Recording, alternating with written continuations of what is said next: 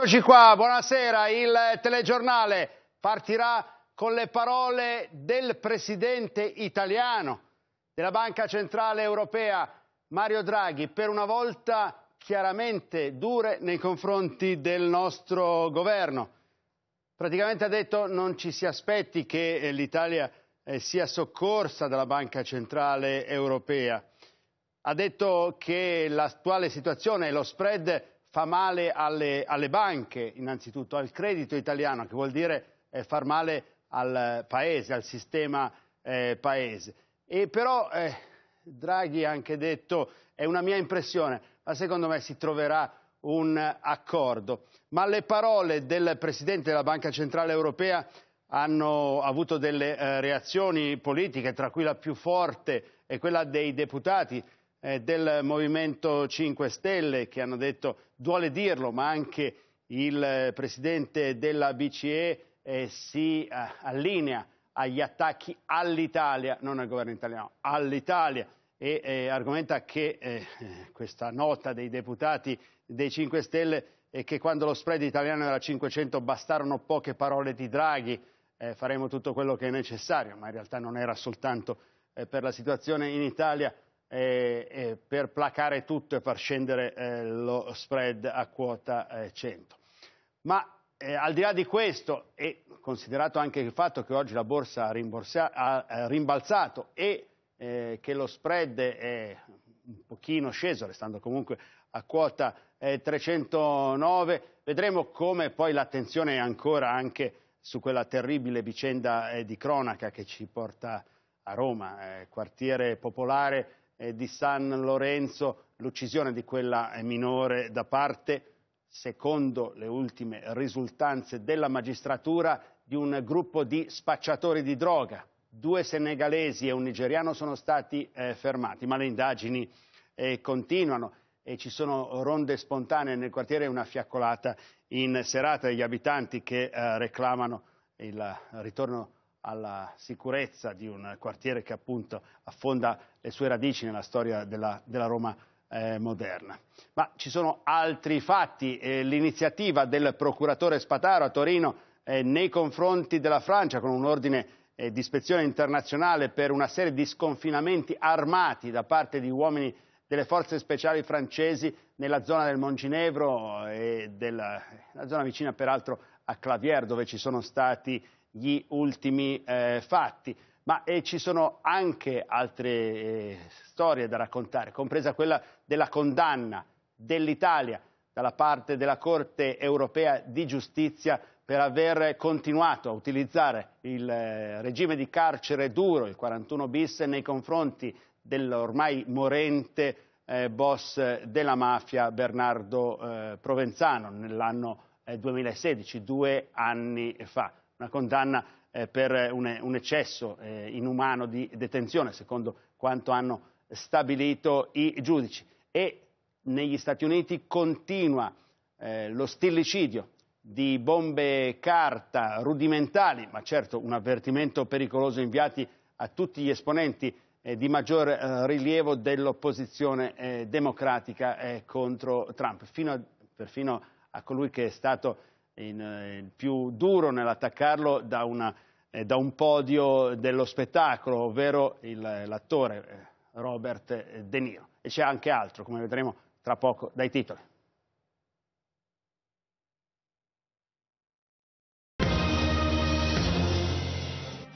Il Presidente della Banca Centrale Europea Draghi definisce l'Italia elemento di incertezza per lo scenario economico europeo come la Brexit e la guerra commerciale e avverte la Banca Centrale non finanzia il deficit. Parla anche dello spread, per ridurlo bisogna abbassare i toni. I BTP sono nei portafogli delle banche e avranno impatto su capitale, risparmiatori, imprese ma poi Draghi si dice fiducioso sulla possibilità di un accordo con la Commissione europea. Dura la risposta dei 5 Stelle e con quelle parole Draghi obiettivamente attacca l'Italia. L'analisi delle dichiarazioni del Presidente della BCE nel commento degli economisti Francesco Daveri e Antonio Maria Rinaldi al nostro TG, in una giornata in cui peraltro c'è stato a Piazza Fari un rimbalzo positivo eh, della eh, borsa che ha chiuso a più 1,79% e con un calo dello spread che comunque resta a quota 309.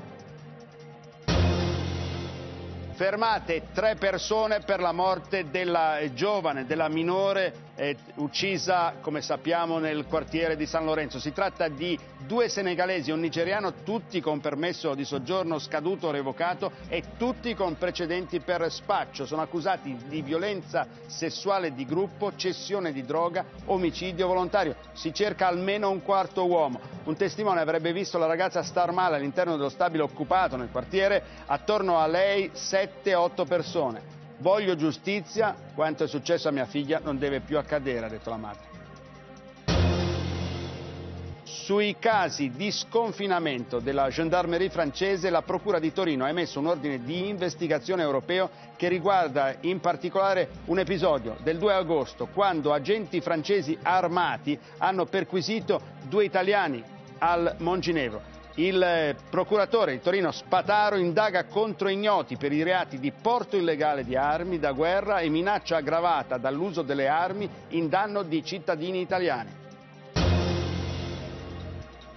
La Corte europea dei diritti umani ha condannato l'Italia perché decise di continuare a applicare il regime duro carcerario del cosiddetto 41 bis a Bernardo Provenzano, nel marzo del 2016, quando ormai il boss mafioso era in agonia fino alla morte, il 13 luglio dello stesso anno. Il nostro Ministero della Giustizia avrebbe violato il diritto di Provenzano a non essere sottoposto a trattamenti inumani e degradanti, dice la sentenza.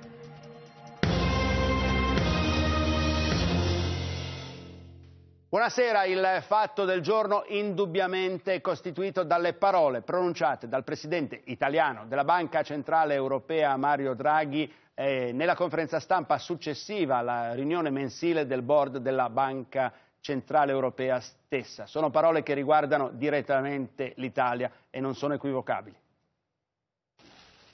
L'entrata, il passo, lo sfondo, i colori e anche la cravatta sono simili, se non uguali a tante altre volte, ma le parole no. Stavolta le parole di Mario Draghi sono pietre, il senso è Moderate i toni e abbassate lo spread perché lo spread fa danni. E aggiunge un inciso forte, non mettete in discussione l'architettura dell'euro. Se non lo farete lo spread scenderà, spiega, il che significa che ora secondo Draghi non si va esattamente nel solco.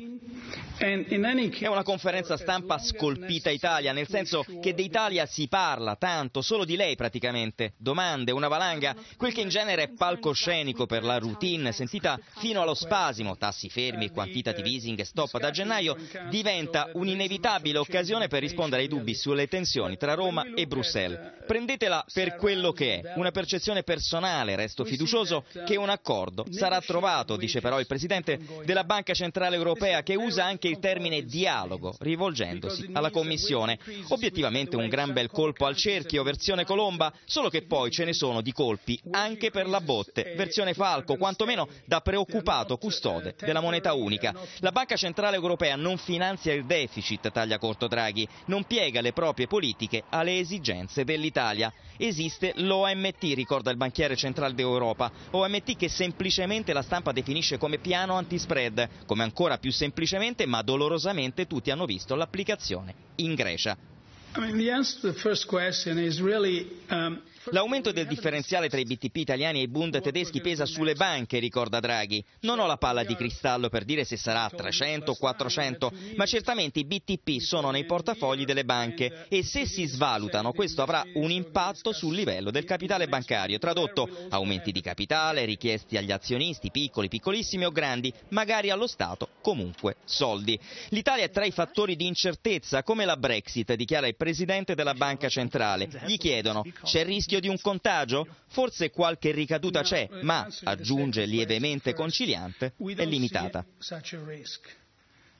Queste le parole di Draghi riassunte dal nostro Marco Fratini. Sono parole che pesano, eh, spero sia stato eh, chiaro, perché eh, segnano un confine che eh, per l'Italia dovrebbe essere invalicabile, ma che l'Italia di fatto ha già oltrepassato. Le reazioni nel nostro Paese vanno dal cauto all'acceso. Se Di Maio eh, parla, come stiamo per sentire, in maniera più eh, felpata, l'Assemblea dei deputati dello stesso Movimento 5 Stelle accusa di fatto anche Draghi di aver attaccato eh, l'Italia e di aver agito ben diversamente in passato. Vedo che dalla BCE arrivano eh, strali sulla questione del pericolo dell'economia italiana per quanto riguarda lo spread. Il governatore Draghi sa che il problema dello spread non è legato alla manovra economica, ma è legato alla paura dei mercati che questo paese possa uscire dall'euro. Luigi Di Maio ribadisce la linea del governo, dialogo sì, ma nessun cedimento su numeri e contenuti della manovra. Ancora più dura una nota del Movimento 5 Stelle, non vogliamo uscire dall'euro, Draghi smetta di attaccare l'Italia. Ricordiamo al governatore che quando nel 2012 lo spread era oltre i 500 punti fu sufficiente una sua dichiarazione per farlo scendere fin sotto quota 100 a dimostrazione del fatto che se la banca centrale adempie ai propri doveri il pericolo spread viene meno. Le parole del governatore della BCE non sembrano intaccare le certezze della maggioranza. La risposta a Draghi di Matteo Salvini lo conferma. Anch'io sono per un accordo, ma sulle nostre posizioni la manovra non cambia, non potete farmi ogni giorno la stessa domanda. Decisamente critico con l'uomo di Francoforte il ministro degli affari europei. Calmierare lo spread e tenerlo sotto controllo è compito della Banca Centrale, attacca Paolo Savona che preannuncia. Non c'è alcun dubbio che il governo rimanderà la manovra tale e quale a Bruxelles, nonostante la bocciatura. Ma la linea della fermezza deve fare i conti con la realtà dei mercati. L'allarme del ministro dell'economia Tria, il sistema bancario non può reggere a lungo uno spread a 320 punti, ha lasciato il segno anche se i protagonisti provano a minimizzare. Dobbiamo lavorare perché i mercati finanziari e quindi gli investitori abbiano fiducia in noi. Per questo bisogna fare sistema, dice il Premier Conte all'Assemblea dei Comuni italiani. Se segue l'economia reale lo spread scenderà inevitabilmente, garantisce Salvini, mentre Di Maio rassicura sullo stato di salute delle banche. Siamo molto attenti e vigili alla loro situazione. Come governo abbiamo contatti diretti ogni giorno con vari manager per riuscire a monitorare la situazione in tempo reale. Decisamente diversa la lettura di Renato Brunetta, Forza Italia. Con lo spread ai livelli attuali ci sono istituti di credito a rischio, ricapitalizzazione. L'unica possibilità è quella dell'ingresso dei grandi investitori esteri, con la conseguenza che l'Italia perderà il controllo delle sue banche. Il segretario PD Martina chiede a Conte e Tria di cambiare la manovra. Sono allibito per il gioco propagandistico che i due vice premier stanno scaricando sulla pelle degli italiani. Si fermino.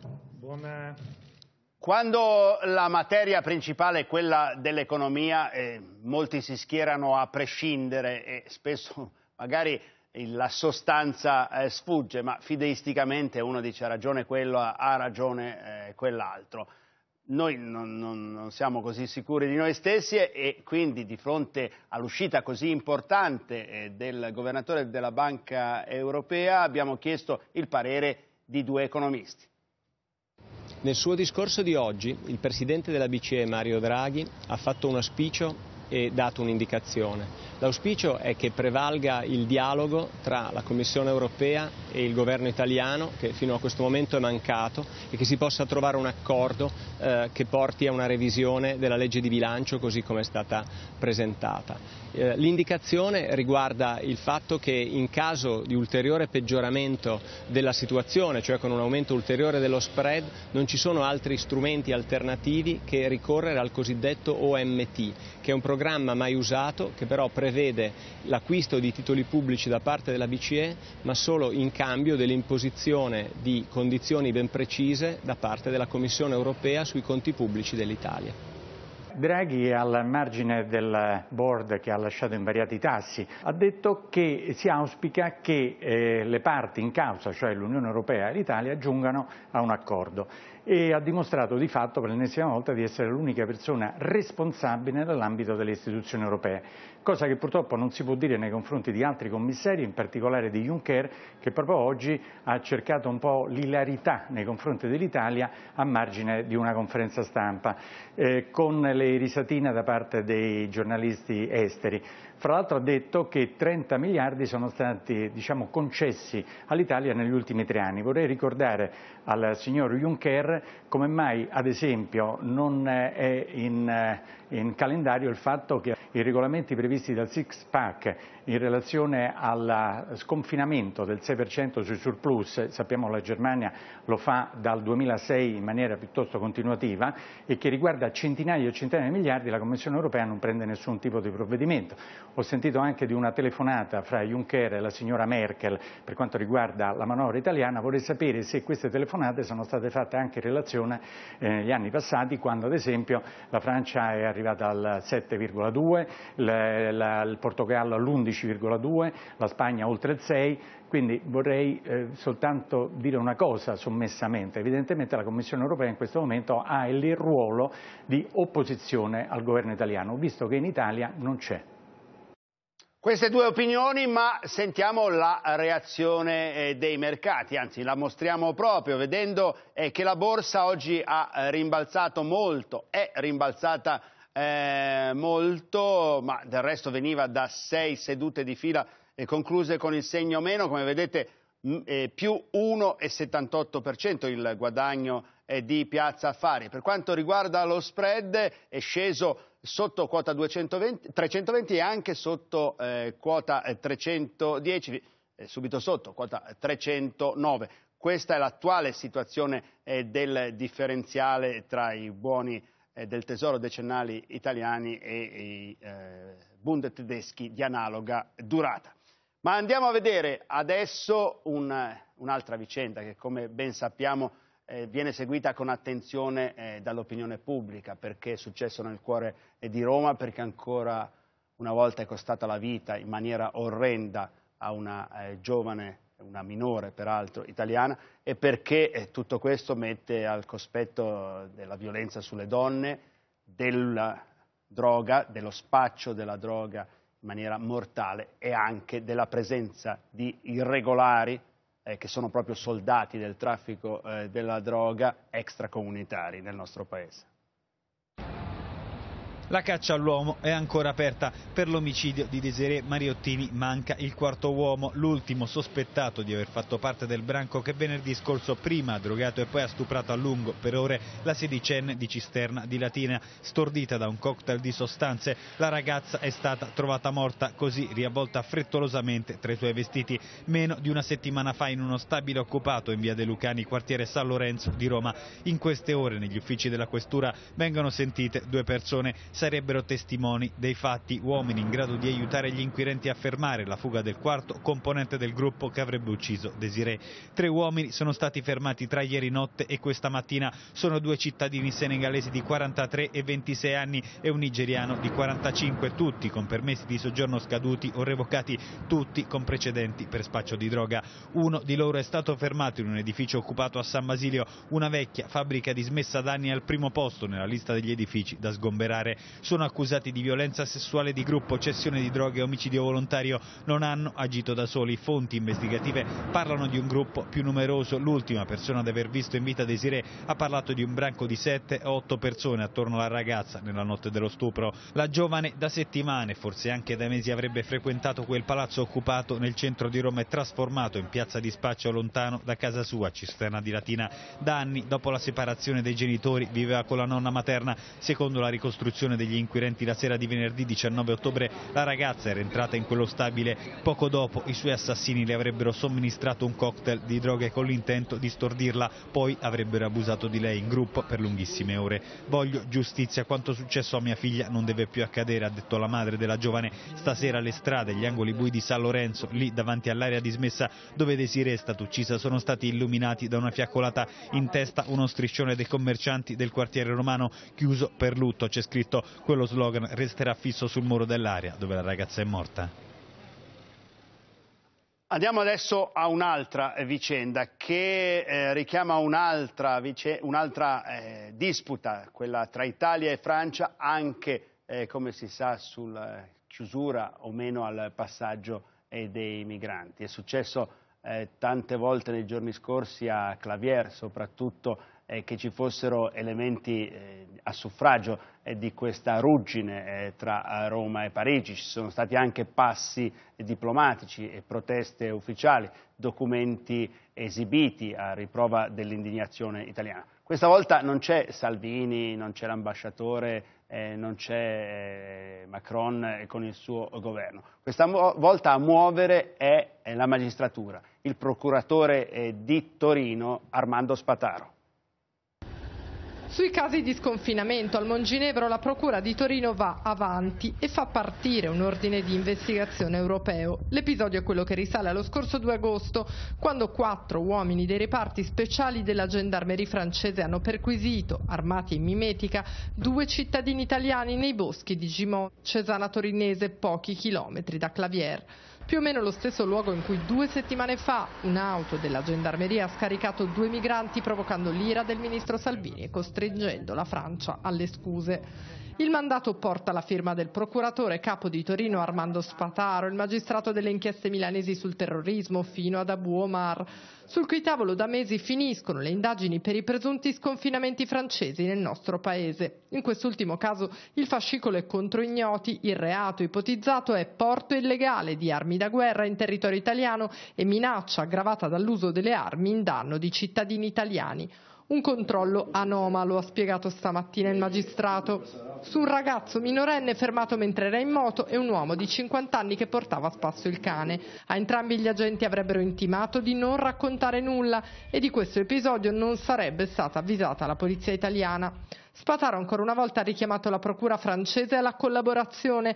In realtà da oltre sei mesi si attendono i nomi dei gendarmi che nel marzo scorso fecero irruzione nella stazione di polizia a Bardonecchia. Fu quello il primo ordine di investigazione europeo. Le indagini giudiziarie vanno in parallelo con la polemica politica che vede Francia e Italia fronteggiarsi a muso duro sulla questione migranti. Ieri la risposta della Francia alle accuse del nostro ministro dell'Interno, riferite stavolta al video postato da Salvini sui social per denunciare respingimenti illegali in territorio italiano anche di minorenni.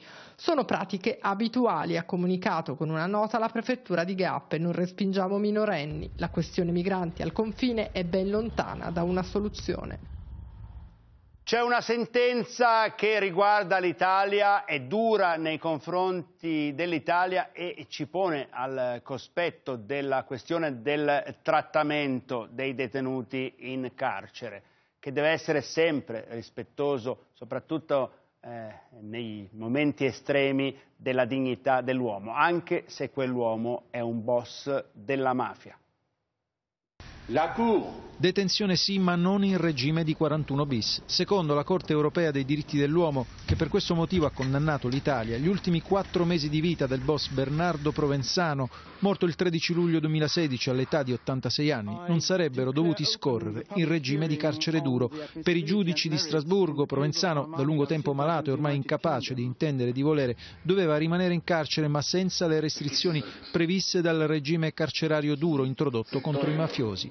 La permanenza del boss in prigione, scrivono nella decisione, non ha di per sé violato il suo diritto a non essere sottoposto a trattamenti inumani e degradanti. Così i giudici europei, pur condannando l'Italia, hanno respinto la richiesta dei legali del boss di un risarcimento per danni morali di 150.000 euro e del pagamento di 20.000 euro per coprire le spese legali. Per noi era importante l'affermazione del principio, ha spiegato il legale del boss.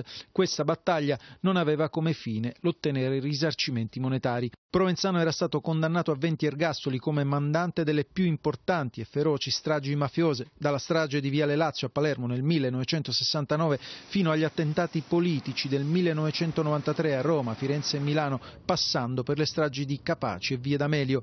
Il regime di carcere duro applicato subito dopo il suo arresto, dopo 40 anni di latitanza nell'aprile 2006, fu intensificato dopo i ripetuti tentativi del boss di comunicare con l'esterno. Si arrivò all'isolamento con divieto di radio e televisione, ma nel 2011 la Procura di Palermo diede il via libera alla revoca del 41 bis per motivi di salute. Il 9 aprile 2014, per l'aggravarsi delle sue condizioni, venne ricoverato all'ospedale San Paolo di Milano e il 24 settembre dell'anno successivo la Cassazione lo rimandò al 41 bis per meglio tutelare la sua salute, dato che in altro reparto sarebbe stato a rischio sopravvivenza. Rispettiamo la sentenza della Corte europea, ha commentato il ministro della Giustizia Alfonso Bonafede, ma il 41 bis non si tocca.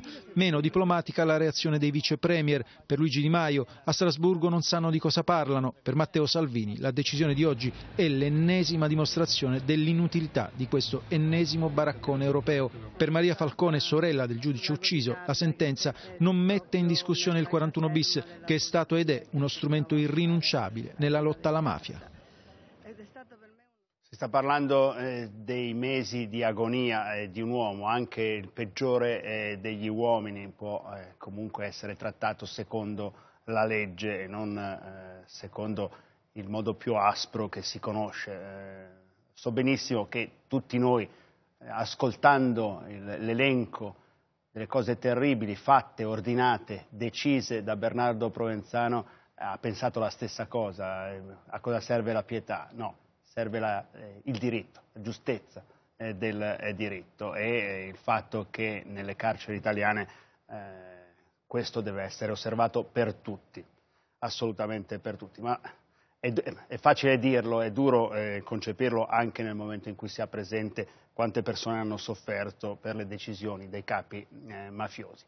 Andiamo all'estero dove la notizia più importante, a parte la vicenda delle eh, bombe che continuano a essere indirizzate, ma ne parleremo subito dopo, agli esponenti eh, dell'opposizione democratica a eh, Trump. La notizia più importante è il nuovo scalino di ammissioni da parte del regime dell'Arabia Saudita in merito all'uccisione del giornalista e del dissidente anche Jamal Khashoggi all'interno. Queste sono immagini di una delle ultime interviste fatte a Khashoggi in eh, vita, come si sa è scomparso perché ucciso all'interno della uh, sede consolare saudita di Istanbul. Ebbene, il procuratore eh, generale di Riyadh ha ammesso l'assassinio del giornalista è stato un atto premeditato.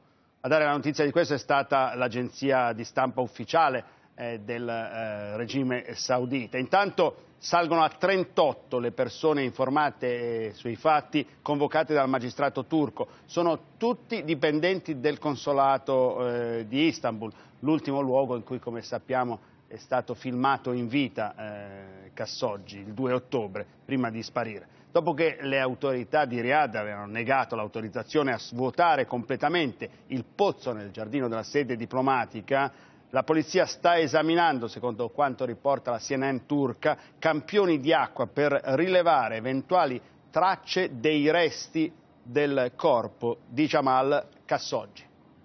Ma come vi dicevo, l'altro fatto è quello stillicidio di bombe carta, di bombe carta rudimentali, va detto, indirizzate via posta al ai leader dell'opposizione democratica, alle figure eh, principali dell'opposizione del Partito Democratico a Donald Trump.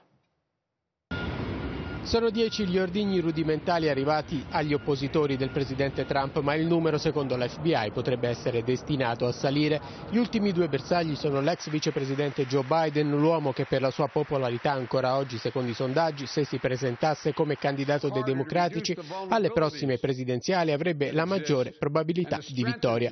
E Robert De Niro, il quale nel corso della campagna elettorale, dopo il video scandalo nel quale Trump rivelava di prendere le donne per le parti intime tanto se lo poteva permettere visto che era una star, lo aveva chiamato cane, maiale e truffatore, mandandolo in diverse occasioni negli anni seguenti a quel paese.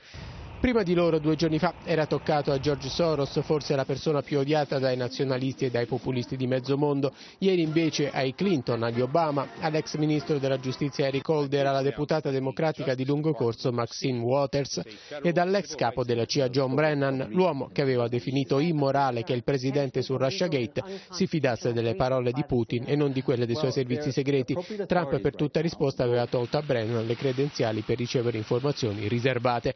Nessuno degli ordigni è esploso, anzi secondo l'FBI la fattura è talmente grossolana da lasciar pensare che più che colpire i bersagli volessero creare una sorta di grande polverone politico a pochi giorni dal voto di medio termine con il quale gli Stati Uniti rinnoveranno il congresso e nel quale i seggi contesi all'ultimo voto sono numerosi. Obiettivo sicuramente centrato a farne le spese per primo è stato proprio il Presidente additato come il principale responsabile dell'imbarbarimento della politica in America per la sua retorica prona all'insulto. Trump che in un primo momento aveva deciso di moderare i toni chiedendo un ritorno all'unità nazionale su Twitter ha immediatamente cambiato registro accusando la stampa di avere creato un clima di odio indescrivibile alimentato dalle continue notizie false. I media ha attaccato il presidente devono dare una ripulita al loro modo di operare subito. Dopo di noi a otto e mezzo gli ospiti di Lilly Gruber sono il eh, parlamentare leghista Massimiliano Romeo, Beppe Severnini e Sebastiano eh, Barisoni. Poi c'è Piazza Pulita e tra gli ospiti invece di Corrado Formigli ci sono Alfonso Bonafede, Gianluigi Paragone, Armando Siri, Giulio Sapelli, Francesco Boccia e anche Massimo Giletti. Ci fermiamo.